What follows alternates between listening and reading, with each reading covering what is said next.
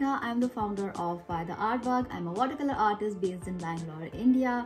And in today's YouTube video, I'm going to teach you something very interesting that is making your own eco-friendly and natural watercolor paints using the ingredients that are available in the kitchen. So let me show you so here are a few of the things that I have made with those watercolors as you can see this is a gift wrap and these are two cute little bookmarks which have all been painted with those natural watercolors which are DIY and homemade. So let's go ahead and check out how to make these and how to paint with them.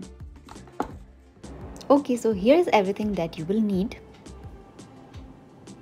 All these you have to grind one by one and all you have to do is put them in the mixer put some salt a little water not too much and then just grind it and then just start collecting them in different bowls. Once you are done it was going to look like this.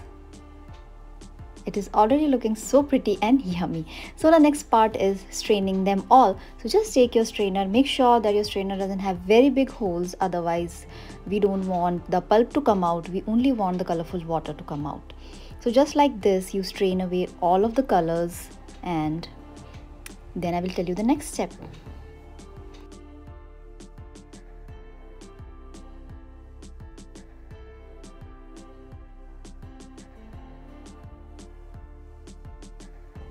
Once you are done with straining, if you see a lot of bubbles, you can take a tissue and just collect those up and then your colors will look nice, clear and transparent. So just do this with all the colors to have nice and clear liquid.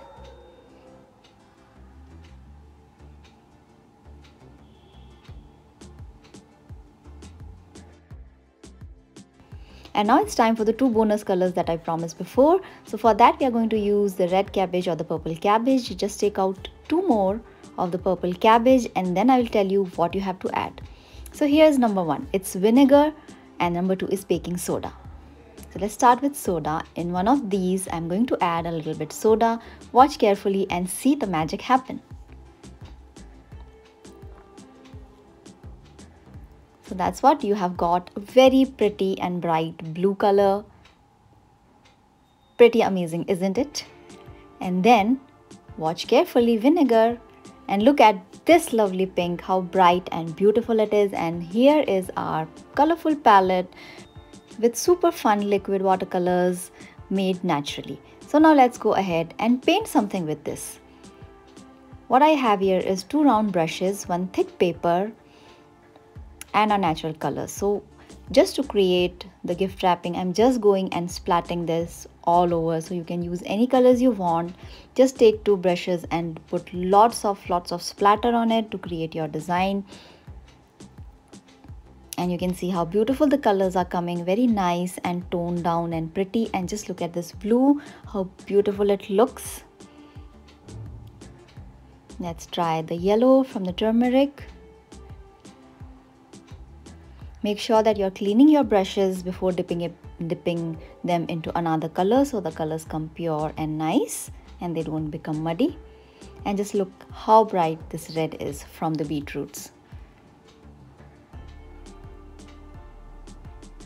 These colors might fade over time, but that is alright. We just want to have fun and create something really beautiful and natural. And especially the kids will love this process.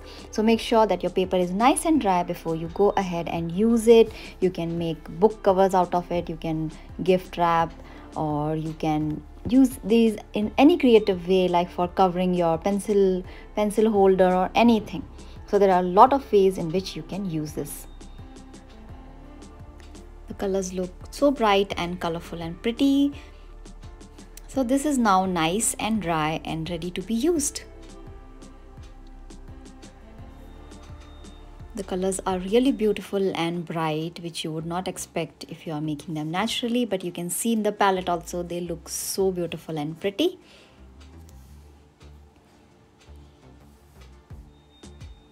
you can make more papers or you can use them any creative way like you like. And i'm just going to wrap this up just like this. And then after this we are going ahead and trying some cute little bookmarks with these colors. So here we go. Here are our natural colors. So let's start with green. I'm going to do very simple flowers.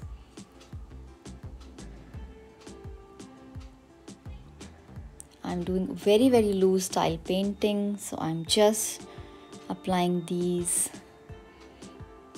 and making some leaves and then some random pink flowers or red flowers.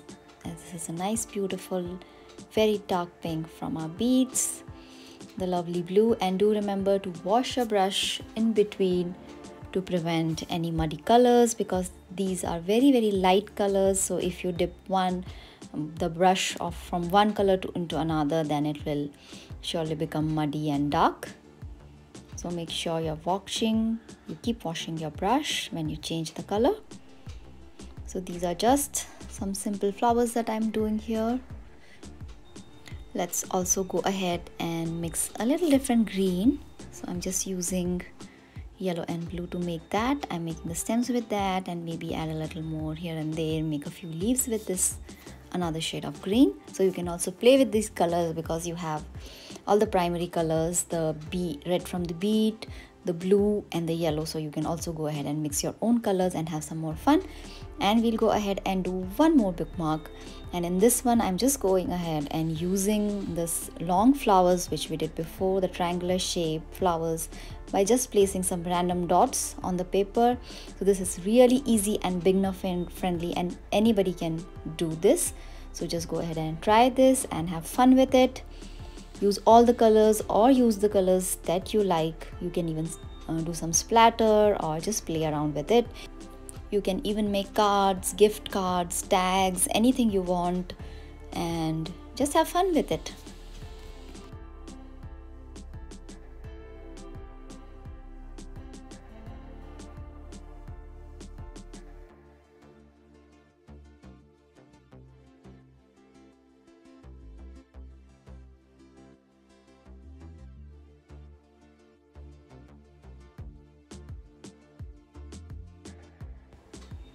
so let's go ahead and mix a little more green and then we'll just go ahead and do the stems for these.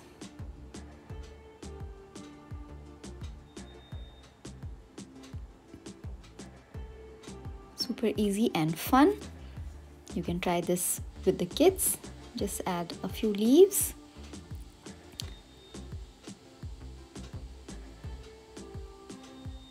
We can add a little bit green in the flowers also and that's it. The second one is also done. So i hope you enjoyed this video of making natural watercolors and then painting and making so much fun stuff out of it.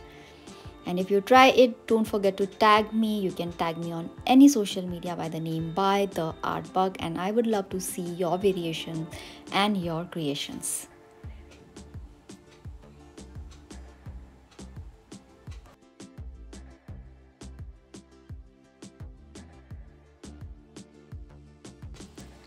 So that's all for now and if you like my work do visit my website which is bytheartbug.com. You can also check out some free resources which I have linked below and I will see you next Friday. Bye bye.